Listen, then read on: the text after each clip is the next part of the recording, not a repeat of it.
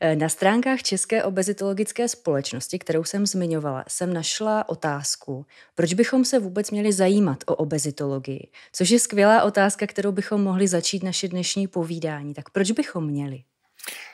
No, já myslím, že ani ne tak o obezitologii jako vědní obor nebo lékařský obor, ale o obezitu. Mm-hmm. Protože obezita je eh, jednak nemoc, uznaná jako nemoc, což je sice věc trošku formální, ale důležitá, ale především je to jedno z nejčastějších onemocnění v naší populaci vůbec.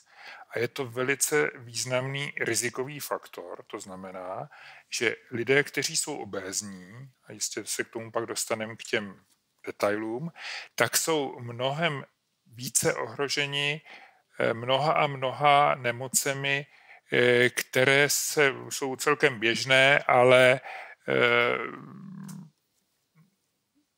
přece jenom eh, ten poměr obézních a neobézních při výskytu těchto nemocí, a jsou to ty nejčastější nemoci, jako vysoký krevní tlak, ischemická choroba, cukrovka, tak je, jsou ti obézní prostě ohrožení víc a ohrožení znamená, že častěji onemocní.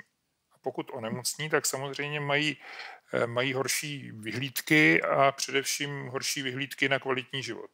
Čili samozřejmě všichni známe eh, jedince, kteří jsou nesporně, nepochybně obézní a aspoň v té době, kdy s nimi mluvíme, říkají, že nic netrápí, že jsou v pohodě, že jim to nijak nevadí. Ale ona ta rizika nemusí být přítomná, ona jsou budoucí. Mm-hmm. A dostaneme se k tomu, že taková určitá nepříliš známá, ale hodně obecná definice medicíny je odstraňovat nebo zmenšovat rizika, která existují nebo která hrozí. A proto obezitologie si myslím, že je důležitý obor.